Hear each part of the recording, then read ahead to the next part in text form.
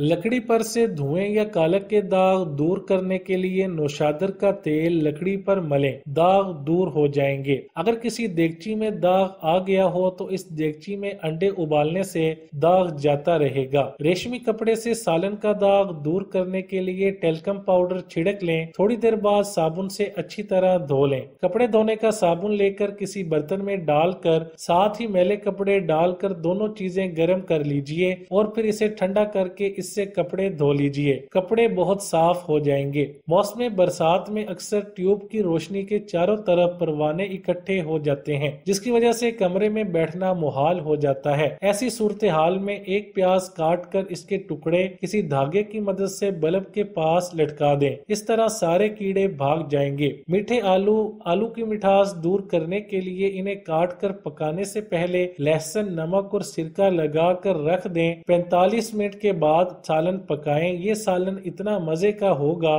कि लोग उंगलियाँ चाटते रह जाएँगे। अचार पड़े पड़े सूख जाए और अचार में एक चम्मच सूख जाए तो अचार में एक चम्मच गन्ने का रस मिला दें, इससे अचार का मज़ा और ताजगी वापस लौट आएगी। चावल लंबे और खुले खुले रहें। चावल उबालते वक्त इसमें इस्तेमाल शुदा लीमू छिलके समेत डाल दें तो चावल लंबे और खिले खिले रहेंगे। शक्कर अगर किसी वजह से सख्त हो जाए या जम जाए तो इसमें सेब का एक टुकड़ा रख दें। शक्कर बिल्कुल नरम हो जाएगी। वाश बेसन की पेलाहट दूर करने के लिए तारपीन के तेल और नमक का मिक्सचर बनाकर वाश बेसन को साफ़ कर लें और तकरीबन आधे घंटे बाद वाश बेसन को गर्म पानी से धो लें। शीशे की बोतल या मर्तबान में दाग धब्बे लग जाएँ तो शीशे के बर्तन में पानी डालकर इस पानी में थोड़ी सी टाटरी डाल दें। 20 मिनट बाद बोतल को अच्छी तरह हिलाएँ तो सारे दाग धब्बे खत्म हो जाएँगे। अगर सालन में मिर्च ज़्यादा हो जाए तो सालन में थोड़ी सी मलाई शामिल करके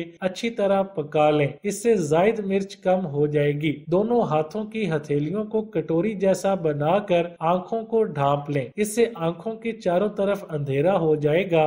फिर आँखें खोलकर एक मिनट तक इस अंधेरे को देखें। इससे आँखों की थकान, सुर्खी और बेरोनकी दूर होती रहेगी। वो अफराद जिनकी आँखों के गिर्द हल्के पड़ गए हों और मुस्तकिल रहते हों, उन्हें खीरे को मसलने पर निकलने वाला सफ़ेद झाग हल्कों पर लगाना चाहिए। सरसों के तेल की सतह पर झाग खत्म करना। अक्सर लोग जब सरसों के तेल में कोई चीज़ फ्राई करते हैं तो इस पर बहुत सा झाग आ जाता है। इस झाग को खत्म करने के लिए सरसों के तेल को अच्छी तरह गर्म कर लें। फ्राई करने से पहले लहसुन के पाँच या छह जवे तेल में डालकर इन्हें अच्छी तरह से जलाकर निकाल दें। अब इसमें कुछ भी फ्राई कर लें। बार बार के इस्तेमाल के बावजूद भी तेल पर झाग नहीं आएगा। चमड़े के सूट केस चमकाने के लिए एक नरम कपड़े को लीमू के रस में डबोकर सूट केस पर रगड़े। सूट केस चमक जाएगा। मछली धोने के बाद हाथों को बेसन या प्याज के पानी से धो लीजिए। मछली की बू फ़ौरन दूर हो जाएगी,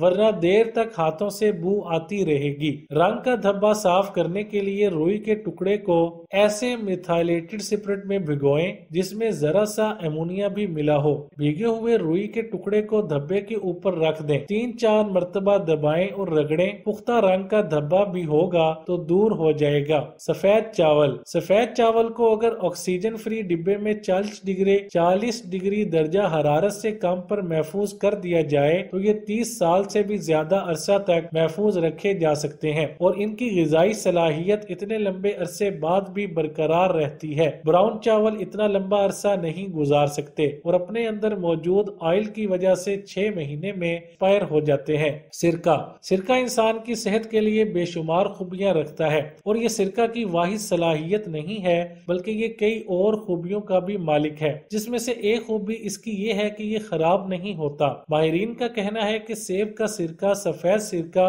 ब्लास्मिक सिरका रसबेरी का सिरका, राइस वाइन सिरका, रेड वाइन सिरका, ऐसे सिरके हैं जिनकी एक्सपायरी डेट नहीं होती। अगर इन्हें एयर टाइट जार में महफूज रखा जाए तो। शहद। कुदरत ने शहद की मक्खी को एक ऐसे कीमिया से नवाजा है, जिस पर मॉडर्न साइंस ने अब तक सबसे ज़्यादा रिसर्च की है और खामोश है, क्योंकि कुछ नहीं जानती। शहद को दुनिया का वाहिद खाना समझा जाता है, जो हकीकत में कभी खराब नहीं होता। और अब तक शहद का सबसे कदीम जार जो दरियाफ्त हुआ, उसकी उम्र पाँच हज़ार पाँच सौ साल पुरानी है। शहद में शामिल अज्जा जहाँ इंतहाई एसिडिक खूबियों के हामिल होते हैं, वहाँ इसमें बहुत ही कम मॉइस्चराइजर शामिल होता है, जिससे बैक्टीरिया शहद में कभी अपनी अफजाइश नहीं कर पाता, जिससे शहद खराब नहीं होता। लेकिन अगर शहद को एयर टाइट जार में न रखा जाए तो ये हवा से नमी अपने अंदर जजब करना शुरू कर देता है और फिर ये नमी शहद की एक्सपायरी का बायस बन जाती है। नमक। जो नमक आज हम अपने घरों में खाने के लिए इस्तेमाल कर रहे हैं, अगर आप इसकी तहकीक करेंगे तो आपको पता चलेगा कि ये भी कई हज़ार साल पुराना है।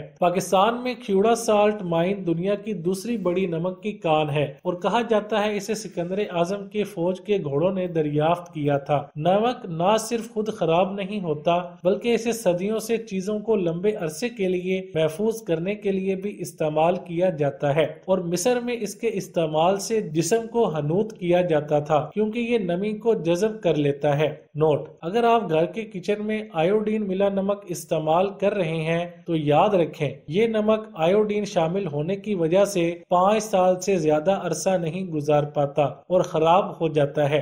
खुश्क दालें। खुश्क दालें और लोबिया वगैरह भी खराब नहीं होते और इन्हें कई सालों तक महफूज रखा जा सकता है। इन्हें महफूज करने के लिए ऐसे जार या प्लास्टिक बैग इस्तेमाल करें जिनमें हवा दाखिल न होती हो। चीनी।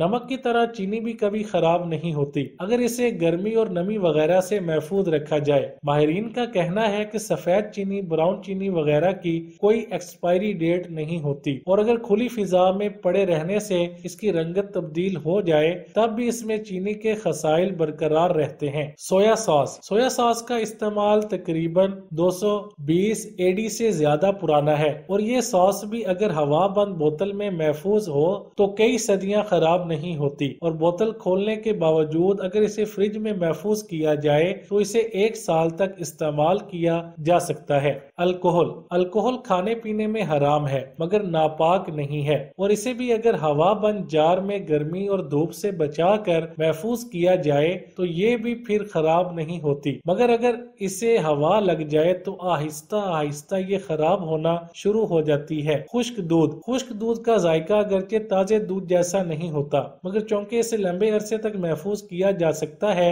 इसलिए इसकी अहमियत का इनकार नहीं करना चाहिए। खुश्क दूध को हवा बंद पैकिंग को अगर गर्मी और धूप से बचा कर रखा जाए तो माहरीन का कहना है कि इसे 10 साल से भी ज़्यादा अरसे तक महफूज रखा जा सकता है। Corn starch. कॉर्न स्टार्च हमारे रोज़मर्रा के खानों में इस्तेमाल होने वाली अशिया में शुमार होती है, और इसे भी अगर ऑक्सीजन से महफूज जगह पर रखा जाए तो ये भी एक तवील अरसे तक इस्तेमाल की जा सकती है।